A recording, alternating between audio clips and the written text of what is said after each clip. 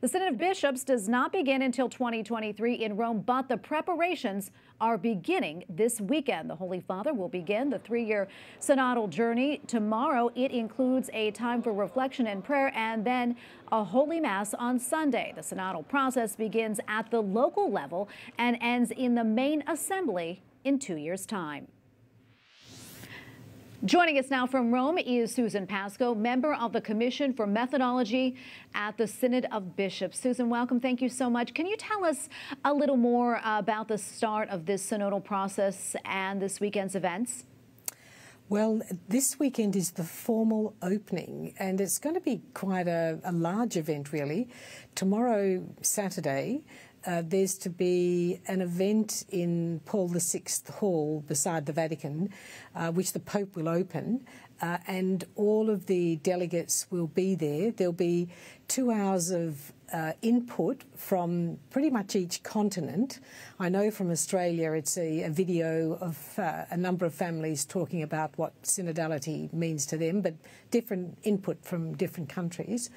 Uh, then we're going to go into a two hour session where, in many ways, we model what we mean by synodality. So each of the delegates will go into groups of roughly 15 in different language groups, and we'll take the questions that have been put in the uh, preparatory document and the vademecum that's come from the Synod of Bishops to the delegates. But we'll begin by asking them to first of all introduce themselves and tell us a little bit of their hopes and expectations, and then focus them down on the questions.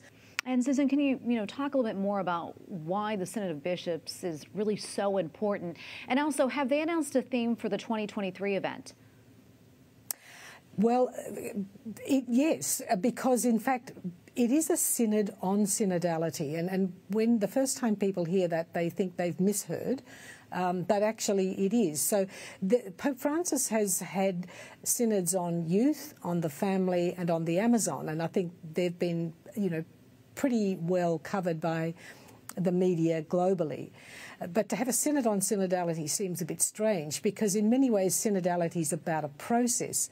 It's about um, the church uh, getting into a mode where all of the voices of all of the people of God can be raised and can contribute. Now, that again might sound a little lacking in specificity, but what it really means is that when there are matters, let's look at it at the parish level, um, where there are, are, matters to det be determined, um, that you have the maximum amount of input from any parishioner who wants to um, make a contribution to the life of that parish. So, for example, uh, well, we know that parishes have to have um, parish finance councils, but we hope that most parishes also have pa parish pastoral councils and that that's an opportunity for people to contribute. But beyond that, there's plenty of other opportunities um, in moments in the, the life of that parish where people can contribute. It could be something as, as similar as, as simple as planning the Chris, Christmas liturgies, or um, the, the, the, the first uh, reconciliation and, and, the first communion events. Uh, plenty of opportunities for members of the parish uh, to contribute. So that, that's the example. Well, Susan, thank you so much for your time today uh, and speaking with us on this. We appreciate it. Susan Pascoe, member of the Commission for Methodology at the Synod of Bishops. Thank you again. Thank you.